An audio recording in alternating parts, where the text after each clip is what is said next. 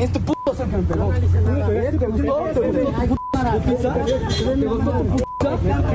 ya le di, ya le di a la madre. Un joven eh, golpeó a un guardia de seguridad en Lomas de Angelópolis, allá en Puebla. Supuestamente el agresor es un menor de edad. Venía conduciendo pero no pudo salir porque su aplicación del fraccionamiento pues falló, por lo que el trabajador le pidió pasar a otro carril donde tenía que mostrar una identificación y eso fue todo para que ese adolescente le pegara al menos durante 15 segundos al guardia, al guardia de su fraccionamiento. Llegaron dos guardias más y se comportó de forma, pues como lo vemos, bastante altanero. Dijo que el, uniformado le había pegado, en el video jamás se ve que le pega. Piden que el afectado presente ya su denuncia.